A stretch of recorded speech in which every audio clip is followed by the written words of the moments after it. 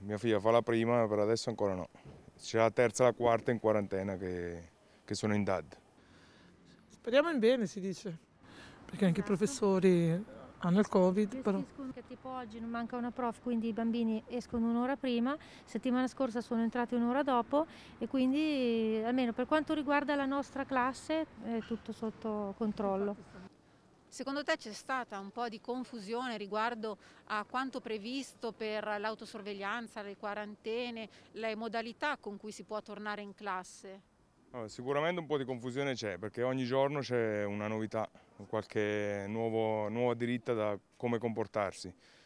Ci dobbiamo fidare di quello che, quello che ci dicono di fare e di farlo. Se non, non sono tanto chiare le regole sulle quarantene tra elementari, medie, tampone T1, tampone T5, quarantena fiduciaria, su questo sono molto complicate le norme. Chiudono per, per dieci giorni perché c'è un, un certo numero di alunni che sono positivi.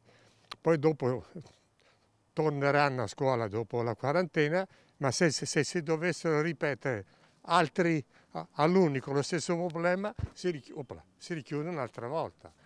Per cui eh, ho sempre aperto, ho sempre chiuso. Chi è malato sta a casa, penso io, come si faceva una volta.